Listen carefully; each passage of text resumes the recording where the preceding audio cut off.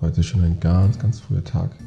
Wir haben nämlich 5.38 Uhr und heute ist mein Kontrolltermin, denn es sind jetzt genau sechs Monate nach der zweiten OP vergangen. Und heute geht es ab in die Röhre, Kernspintomographie. Und da werde ich jetzt gleich hinfahren. Dann geht's mal los.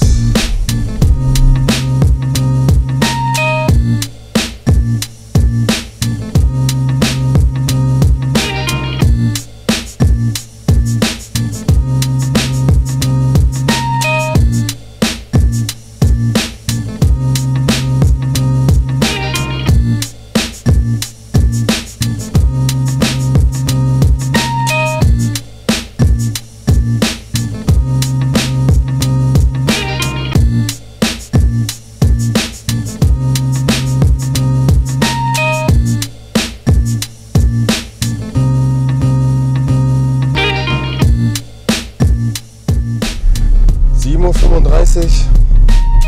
Jetzt bin ich auf dem Weg nach Hause. Jetzt werde ich erstmal was frühstücken.